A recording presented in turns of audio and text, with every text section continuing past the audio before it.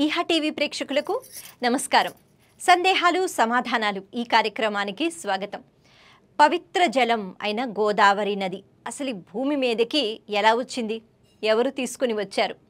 అనే సందేహం కలుగుతుంది. ఎందుకంటే భగీరథుడు చాలా కష్టపడి ఆకాశంలో ఉన్న పవిత్ర గంగను భూమి మీదకు తీసుకుని వచ్చాడు.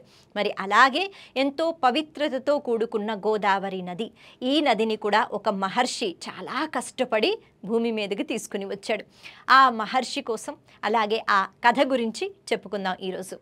గౌతమ మహర్షి చాలా చక్కగా భక్తి శ్రద్ధలతో నిత్యము శివ ఆరాధన అన్నది చేస్తూ ఉండేవారు. ఒక ఆశ్రమం నిర్మించుకుని ప్రతి నిత్యం శివాభిషేకం చేస్తూ ఉండేవారు. అయితే అనుకోకుండా ఆ ప్రదేశంలో విపరీతమైన క్షామం. ఒక్క చుక్క నీరు కూడా ఎక్కడా లేదు. వర్షాలు పడడం లేదు.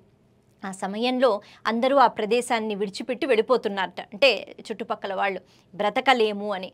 ఆ సమయంలో కూడా గౌతమ మహర్షి తన కోసం ఆలోచించుకోకుండా తపస్సు చేసి వరుణదేవుణ్ణి మెప్పిస్తారు. ఓ వరుణ దయచేసి నువ్వు వర్షాన్ని కురిపించు. ఎందుకంటే ఇక్కడ తాగడానికి చుక్క నీరు కూడా లేదు అంటే వరుణదేవుడు అంటాడు. ఇది భగవంతుని యొక్క శాసనం. కాబట్టి మీరు తపస్సు చేశారు మీకు మాత్రమే నేను ఆ అనుగ్రహాన్ని ఇస్తాను అందరికీ కాదన్నారట.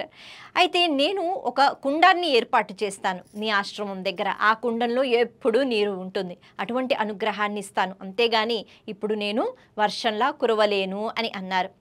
సరే అన్నారు గౌతమ మహర్షి. మరి చక్కగా అద్భుతంగా అయి కుండము అన్నది నాకే సొంతం అని మాత్రం అనుకోలేదు. ఆ మహానుభావుడు ఆ కుండంలో నీళ్ళున్నాయి కాబట్టి అక్కడ పరిసర ప్రాంతాల్లో చక్కగా అంటే పళ్ళు కూరగాయలు అలాగే ధాన్యము ఇవన్నీ పండించడం మొదలుపెట్టారట. ఎందుకంటే తన దగ్గర నీరు ఉంది నీరు కావాలి వీటి కోసం. అలా ఈ నీటిని ఆ ఆహారాన్ని అందరికీ అందింపచేస్తాను అనే సత్సంకల్పంతో అలా పాపం కష్టపడుతూ ఆ నీటిని ఉపయోగిస్తున్నారు. ఇప్పుడు తను ఉన్న ఆశ్రమం దగ్గర ఎంతోమంది ఋషులు వేరే వాళ్ళందరూ వచ్చేసారు అక్కడే ఆశ్రమాలు కట్టుకుని ఉన్నారు. మరి ఇది నేను కష్టపడి సంపాదించుకున్న కుండం కదా మీరు రాకూడదు అని గౌతమ మహర్షి అనలేదు. ఆయనకు అటువంటి ఉద్దేశం లేదు. చాలామంది వచ్చారు ఎంతో హాయిగా జీవితాన్ని గడుపుతున్నారు ఈర్షా ద్వేషంతో ఉన్నారు వాళ్ళందరూ.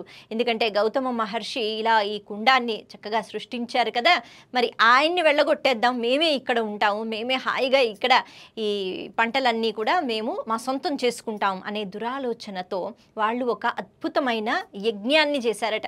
ఆ యజ్ఞంలో వినాయకుణ్ణి పిలిచారు. వినాయకుణ్ణి పిలిచి వినాయక ఎలాగైనా గౌతమ మహర్షి ఇక్కడి నుంచి వెళ్ళిపోవాలి అందుకు నువ్వు సహాయం సహాయపడాలన్నట్టు విచిత్రం ఏమిటంటే వినాయకుడు ప్రత్యక్షం అవుతాడు అయితే ఇటువంటి మంచి కార్యాలు అంటే ఏవైనా భగవంతుడు సహాయం చేస్తాడు. కానీ చెడ్డ కార్యాలకు కాదు కదా. కానీ భగవంతుడు అన్నాడు సరే. మరి నేను ఏదో ఒక రకంగా సహాయం చేస్తాను. అంటే వీళ్ళు ఒక ప్రణాళిక వేసుకున్నారు. ఇప్పుడు వినాయకుడు ఒక ఆవు రూపాన్ని ధరించి ఆ పొలంలో తిరుగుతున్నాడనమాట మధ్యలో.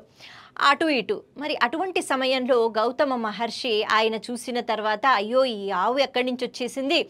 ఇది పంట పొలాల్ని పాడు చేసేస్తుందేమో అని చెప్పి పక్కనే ఉన్న గడ్డి పరక ఏదైతే ఉందో దాన్ని అలా విసిరి హట్ హట్ అన్నట్టుగా ఏదో ఒక శబ్దం చేస్తారు. మరి ఈ గడ్డి పరక తగిలిన వెంటనే ఆవు పడి మరణిస్తుందట.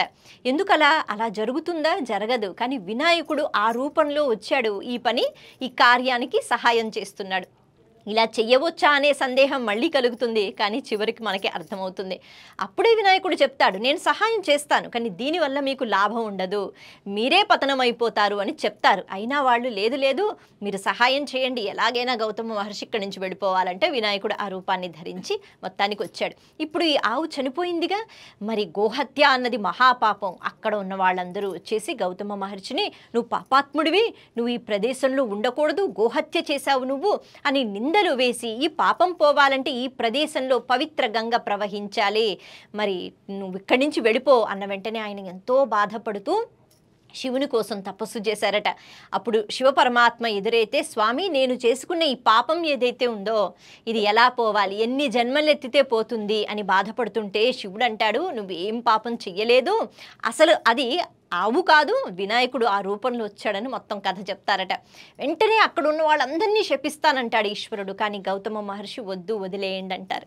అలా గౌతమ మహర్షి కోసం ఈశ్వరుడు మళ్ళీ ఆకాశంలో ఉన్న పవిత్ర జలాన్ని భూమి మీదకి విడిచిపెడతారు. అదే గౌతమి నది గోదావరికి ఇంకొక పేరు గౌతమి.